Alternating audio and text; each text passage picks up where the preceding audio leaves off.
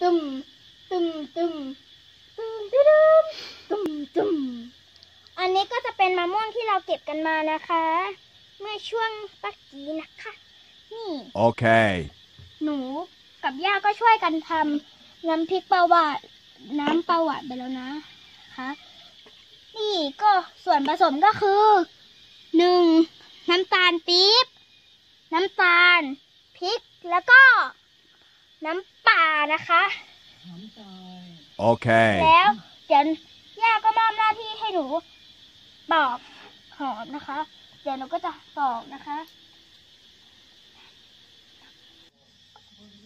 แล้วก็ทำกันเสร็จแล้วนะคะ เดี๋ยวหนูก็จะมาทำอันนี้ต่อค่ะ เอาลูกไหนก่อนดีนะ จำจีมาเขือเปาะแปะกะเถาะหน้าว่านพายเรือออกไออาบน้ำท่าไหนอาบน้ำเราเอาแป้งที่ไหนผัดเอากะกับที่ไหนส่องยำยำมองมองนกขุนทองร้องฮู้อันนี้ค่ะ แล้วอันนี้จะไว้ไหนไว้ในนี้หรือเปล่าหยิบใส่นี่ค่ะใส่นี่ด้เลยนี่ค่ะ เราต้องใส่ห่อไปด้วยสินะ เอ๊ะเหมือนมันขาดอะไรไปหนึ่งอย่าง เดี๋ยวเราก็จะมาทำอันนี้ต่ออันนี้ก็จะเป็นที่ปอกมะม่วงนะ เป็นอุปกรณ์หนึ่งอย่างค่ะ มันจะแหลมแหลมเลยนะคะหนึ่งสองสามว้ายยากจุง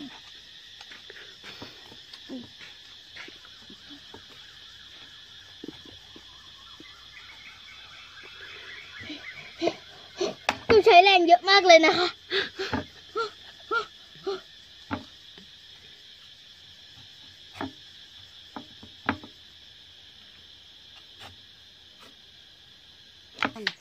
นี่ค่ะ เราทำมาได้แล้วนะสามชิ้นนะคะ เดี๋ยว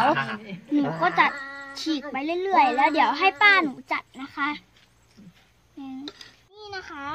อันนี้ก็คือมะม่วงที่หนูทำมานะคะ หนูจะตั้งชื่อ ว่าอุ้ยมะม่วงร้อยแซ่บเพราะว่าน่าจะมี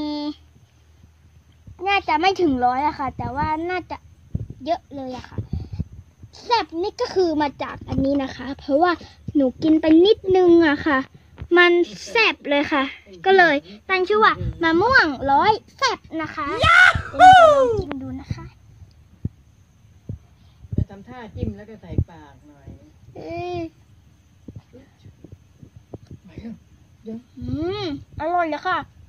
แซ่บสำหรับคลิปนี้ก็ขอจบเพียงแค่นี้นะคะ อย่าลืมกดติดตามกด subscribe กดกระดิ่ง เพื่อจะได้ไม่พลาดคลิปต่อไปนะคะ บ๊ายบาย จุ๊บจุ๊บเผ็ดไม่หาย อะไรเผ็ดขนาดนั้นเลยหนูกินเผ็ดได้นะ แต่หนูไม่ชอบอันนี้มันเผ็ดแล้วเดี๋ยวหนูขอจิ้มก่อนหนึ่งสองสาม